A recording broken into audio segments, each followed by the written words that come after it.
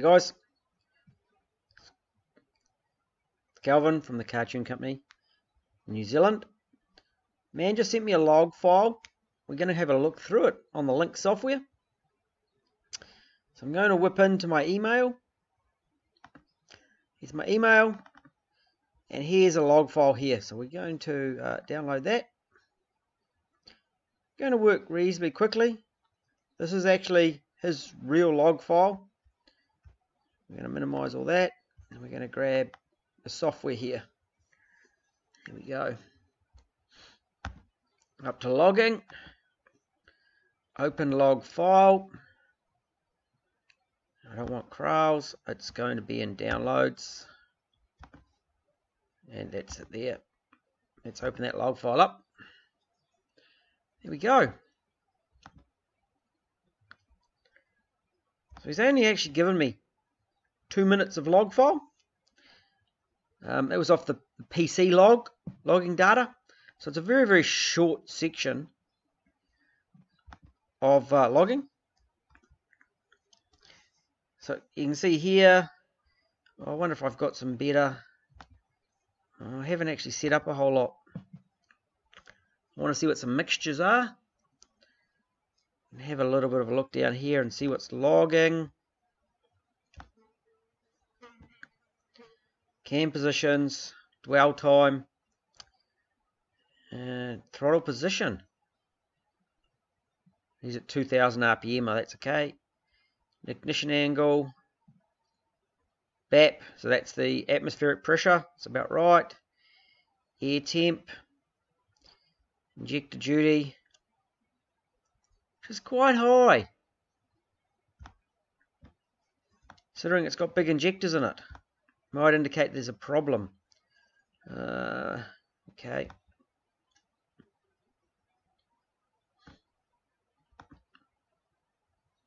What we don't have in here is any lambda figures.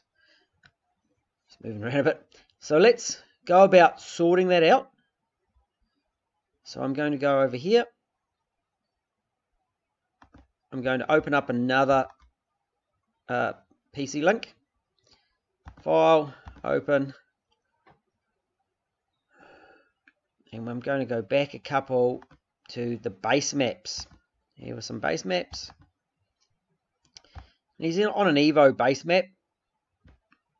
Evo 123. Hope that's what it is.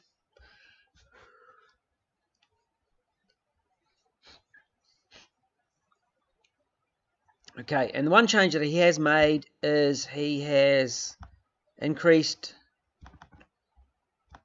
the master fuel. So I'm just going to go here, fuel main. He's moved that up to 11.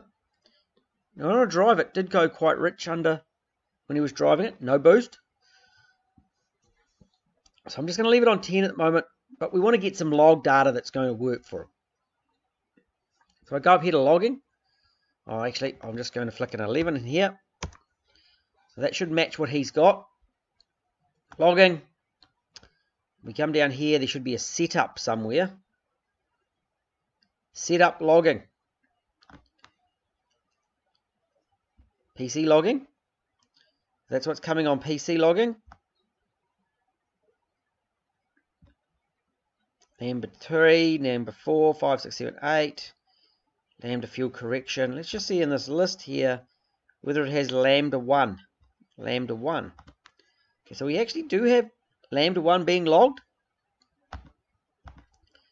So if I go back here, I'm going to start a new page.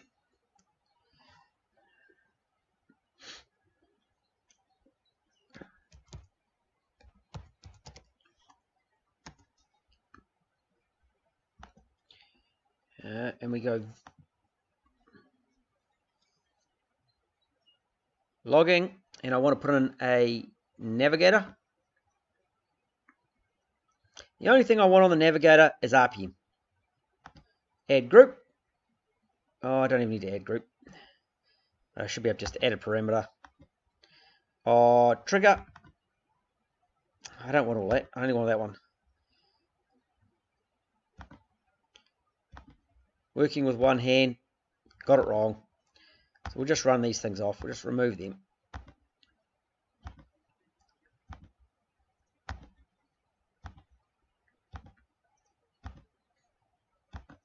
And I should actually say when I left click and right click, shouldn't I?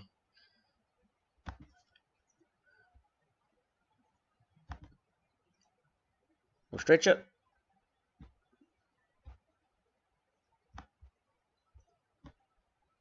And we'll put it at the bottom.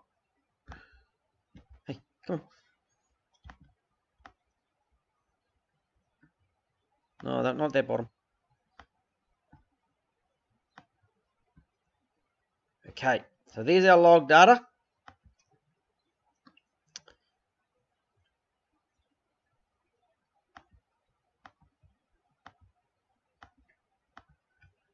And then I want to put in, uh, again, logging, a time plot, add a group, add a parameter, and if I'm very careful, I'm going to just click on here. So I right click on the little arrow, engine speed, yes. Add group, add parameter. Theoretically, in here, there should be lambda 1. So look at lambda 1, lambda 1, cool. Add group, add parameter. And I want to put some, some map sensor in here. That's going to be an analog map. Add group, add parameter, and we're going to put in the throttle position sensor.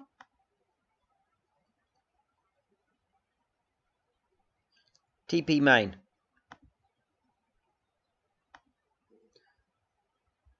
So at the moment, that's all I'm going to put in there. We're going to push OK. We get some wiggly lines.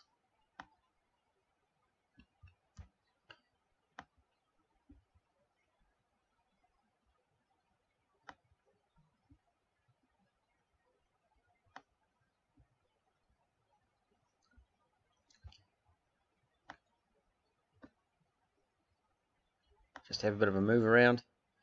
That is pretty good.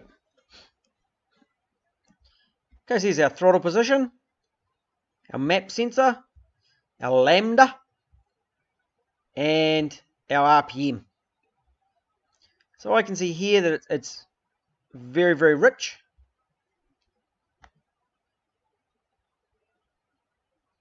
We'll look at some properties. Oh, that just goes back to the, uh, I think if I double click on here, I can change color. So I right clicked onto the, the screen.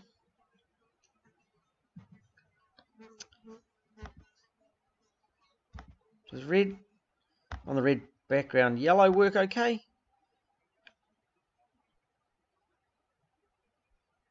And we probably we probably need to we can drop this to like one point.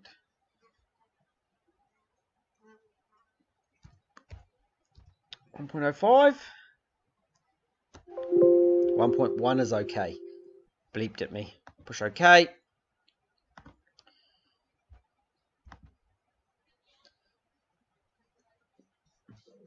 Okay, so we've got here uh,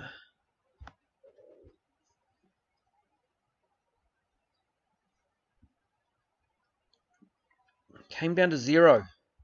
So we're looking here, we got the mixture. It's dropping down. These throttles closing. I can't point to the computer screen. Down here, the throttle's closing. It's getting vacuum. And it's quite rich. However, it's leaning out. It's taking a little while for it just to pick up on that leaning out. So we can actually look at what the injectors are doing. And then it sort of stabilizes back to um, still very rich through there. All very, very rich.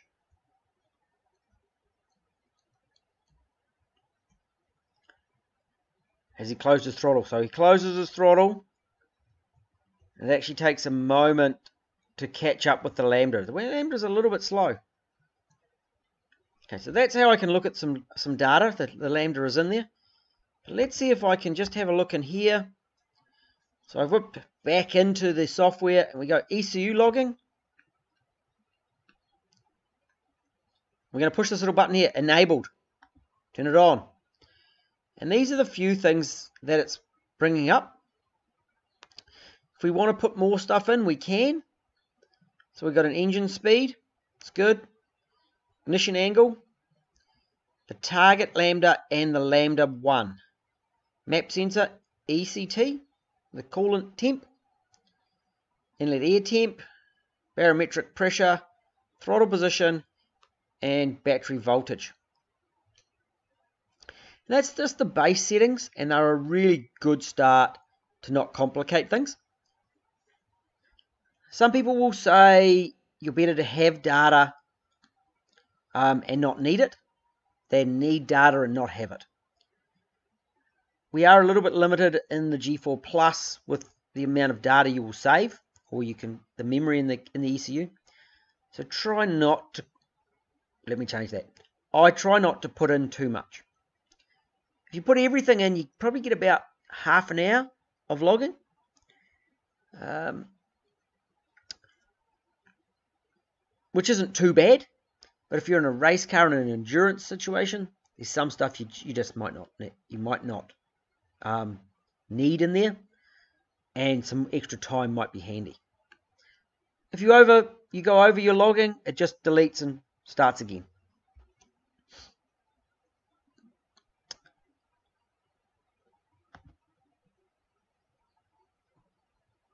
He doesn't have a lot of that stuff in there.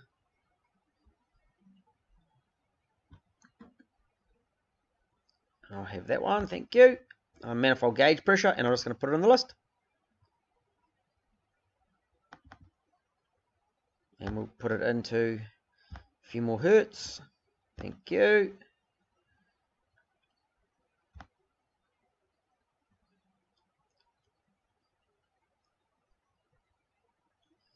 I would also like um, some fuel enrichment some statuses. So we're going to look up here. Duty cycle was probably quite handy to have. Put that in.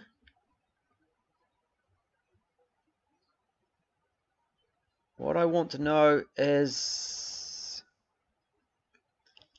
acceleration enrichment.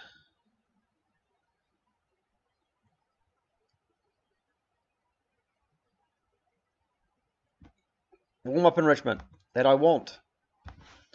So I want to know that the engine, I'm just going to move my foot, I want to know that the engine's fully warm.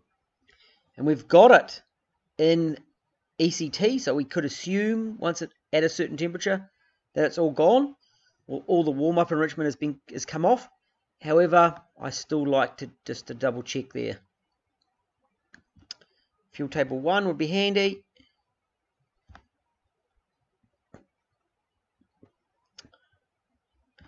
Acceleration fuel. Because I don't want to go changing fuel maps if acceleration fuel is present.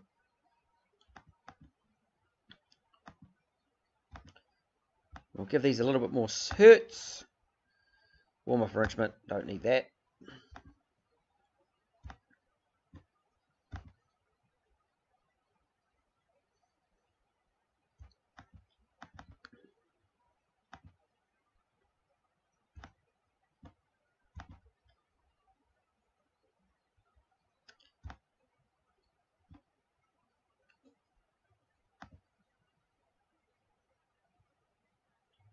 I want rev limit status and map limit status.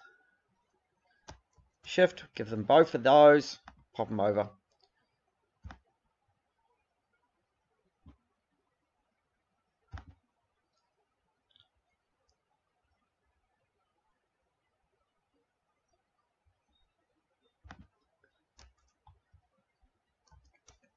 Just grabbing some idle information.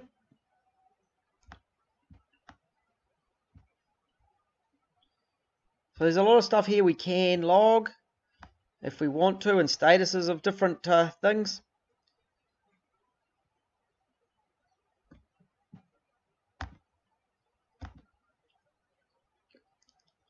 I'm going to push OK on that. And I'm going to go uh, File, Save As, it's no longer a base map, it's now a tuning map.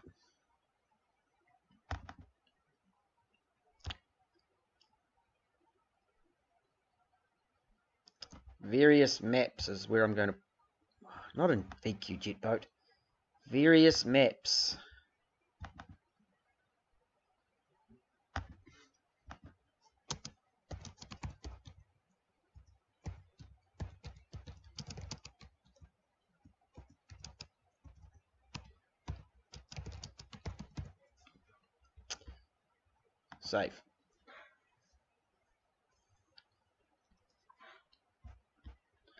So I've just modified that. Then I'll whip over to my email. I'll reply to Ian. I'll shove a file in, attach files.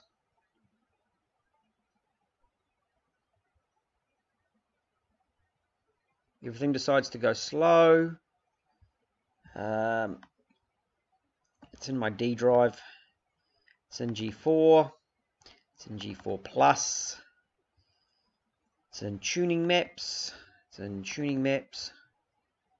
As you can see, there's a lot of tuning maps, various maps, Ian's, open,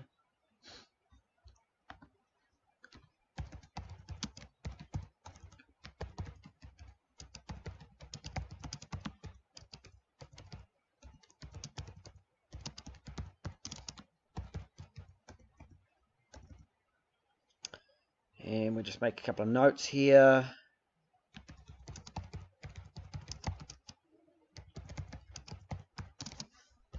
And we send that.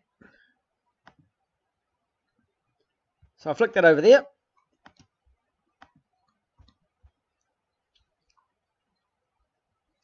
He also needs to know where to find the fuel maps. So he's changed the the master fuel there. We'll just go to tuning here ECU controls, fuel table 1, right there. So here's the fuel table. So when it's idling, we would expect it to be up in this area. So we can probably reduce fueling. Though I think in this case he's probably best to go here. Oh, sorry, I'm going the wrong way. Go back to there. Go there, watching this lambda.